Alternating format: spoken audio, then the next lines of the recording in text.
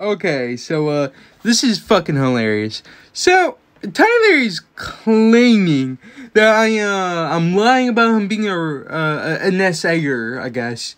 I say on YouTube.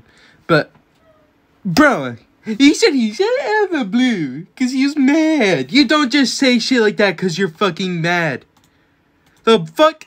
Alright, say, would say I, I, I, I, don't know. I fucking say I shot someone. Like, I go on the street and said, Oh, I shot this guy because I was angry. You fucking admitted to it. You literally just admitted to it. Did, what? You, and I have, quote, zero evidence. I have 102 screenshots of you doing all this shit. A seven minute video of all those screenshots compiled. Check it out. It'll be below.